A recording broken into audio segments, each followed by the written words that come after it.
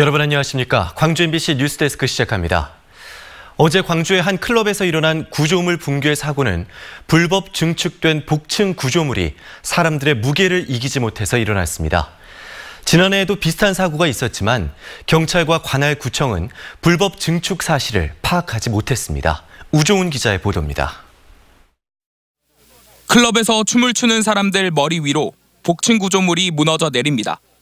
바로 아래 있던 한 남성은 머리를 부딪혔고 위층에 있던 사람들도 미끄러져 넘어집니다. 무너진 곳은 20제곱미터 남짓한 복층의 바닥 구조물입니다.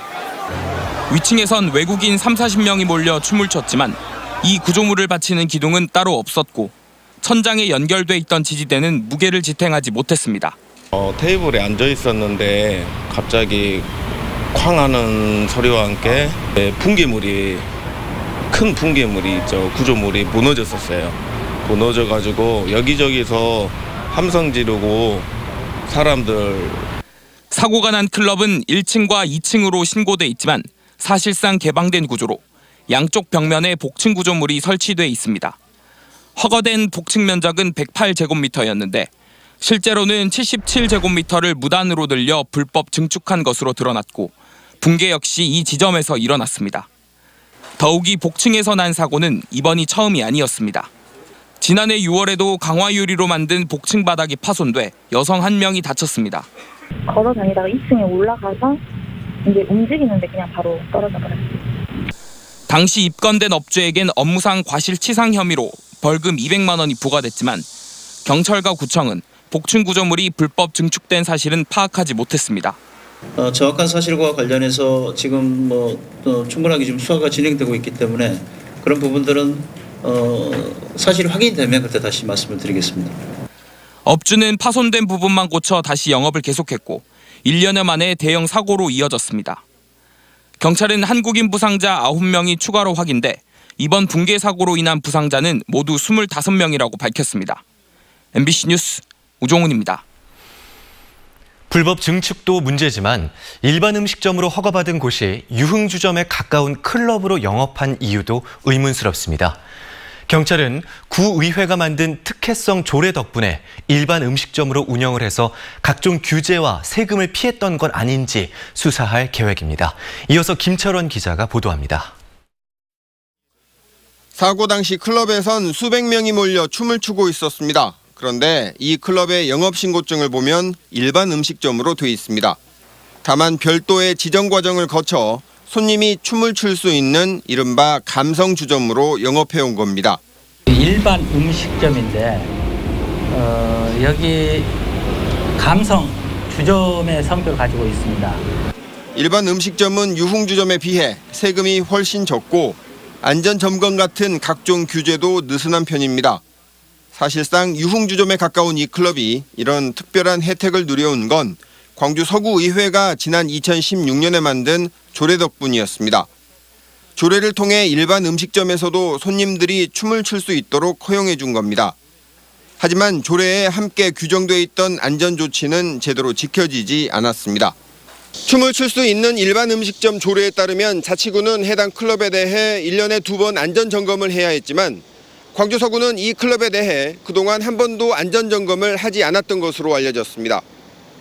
게다가 이 조례에선 적정 인원을 1제곱미터당 한 명으로 정했는데 사고 당시 수백 명의 손님을 받은 만큼 규정 위반일 가능성도 큽니다. 경찰은 관련 공무원들을 상대로 인허가 과정은 물론 조례 제정 경위에 대해서도 조사하고 있습니다. 그 같은 지금 의혹이 제기가 되고 있는 것이 사실이기 때문에 어, 그 또한 정확하게 이제 수사를 거쳐서 어, 사실관계 규명토록 하겠습니다. 현재까지 업무상 치사상 혐의로 경찰에 입건된 관계자는 모두 4명, 클럽의 공동업주 3명과 종사자 1명입니다. 특혜 의혹이 사실로 드러날 경우 수사가 확대될 것으로 보입니다. MBC 뉴스 김철원입니다. 지구촌의 수영 스타들이 함께했던 광주 세계 수영 선수권 대회가 이제 종착점에 다다랐습니다. 오늘 밤에 진행되는 폐회식을 끝으로 17일 동안 쉼없이 달려온 최대 수영 축제는 아쉬움 속에 막을 내립니다. 이계상 기자가 전해드립니다. 한반도 남도의 봄, 여름, 가을, 겨울 그리고 다시 새로운 봄으로 이어지는 풍경. 성산 별곡 속 사계절의 정치와 풍류가 광주 세계 수영 선수권 대회 폐막 공연에 담겼습니다. 아름다운 순환을 주제로 남도의 예술적 향기를 전 세계인들에게 전달하기 위해서 소리꾼과 공연 예술가들이 함께 뭉쳤습니다.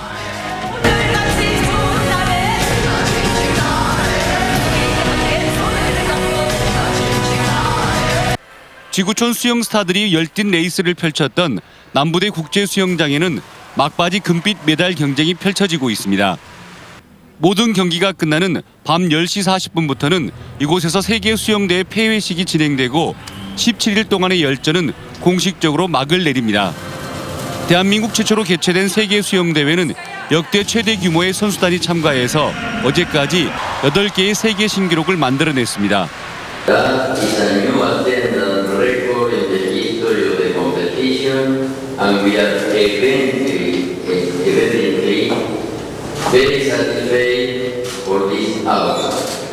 대회 초반 수영연맹의 준비 소홀과 관람객 부족 등으로 부정적인 평가도 나왔지만 성공 개최를 염원하는 시민 서포터즈와 자원봉사자들의 눈부신 활약 덕분에 이번 수영대회는 긍정적인 평가를 받았습니다. 3천여 자원봉사자, 12,000여 시민 서포터들, 150만 강력 시민의 결집된 힘으로 이루어졌습니다. 2015년 하계 유니버시아드 대회에 이어 세계 수영 선수권 대회까지 차례로 치러낸 광주는 국제 스포츠 도시로서의 위상을 지구촌 곳곳에 각인시키는 성과를 냈습니다. MBC 뉴스 이계상입니다. 광주 세계 수영 선수권 대회에 참가한 한국 경영 대표팀이 총 5개의 한국 신기록을 세우는 성과를 올렸습니다. 대회 마지막 날인 오늘 임다솔, 백수연, 박예린, 정소은 선수는 여자 혼계영 400m 예선 경기에 출전해 4분 03초 38로 한국 신기록을 세웠습니다. 한국 대표팀은 오늘 열린 여자 혼계영 400m를 포함해 여자 계영 400m, 남자 계영 800m, 혼성 계영 400m 등의 단체 종목에서 4개의 한국 기록을 새로 썼고 남자 자유형 50m의 양재훈 선수가 개인으로는 유일하게 한국 신기록을 달성했습니다. 한국 수영의 간판 김서영 선수가 개인 혼영 400m에서 결승 진출에 실패하고 광주 세계 수영 대회를 마무리했습니다. 김서영 선수는 오늘 오전 남부대 국제수영장에서 열린 개인 혼영 여자 400m 예선 경기에 출전해 4분 40초 55를 기록하고 전체 10위를 차지함에 따라 8명이 겨루는 결승에는 진출하지 못했습니다. 김 선수는 앞서 열린 개인 혼영 200m에서는 결승에 진출해 이번 대회 경영 종목에서 결승 출발대에선 유일한 한국 선수로 기록됐습니다. 광주 세계 수영 선수권 대회에 참가한 외국인 남자 선수가 클럽에서 여성을 성추행한 혐의로 긴급 체포됐습니다. 광주 서부 경찰서는 오늘 새벽 3시쯤 광주 서구 치평동의 한 클럽에서 18살 A양의 신체를 만진 혐의로 헝가리 국적 수영 선수 23살 B씨를 붙잡아 조사하고 있습니다.